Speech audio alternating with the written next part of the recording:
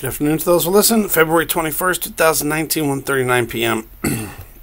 Last video, I did get the lens, but it was crazy. It was like I was seeing the top of the lens instead of the bottom of the lens, and it was below, and it looked like it was upside down backwards.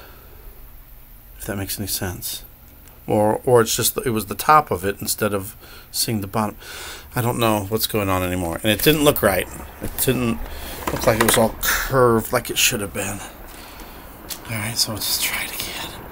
Don't know if it's too late. It's past 1:30. It's 1:40, so I don't know.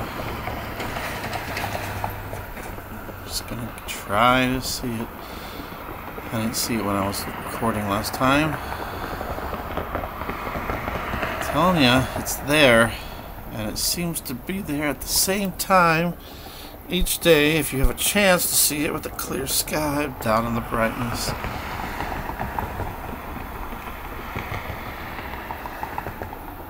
This thing has been so hot that it keeps shutting my computer down. I don't see nothing now, but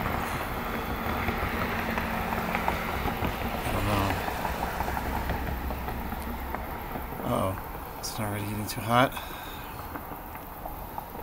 Alright, thanks for watching. Just in case. God bless.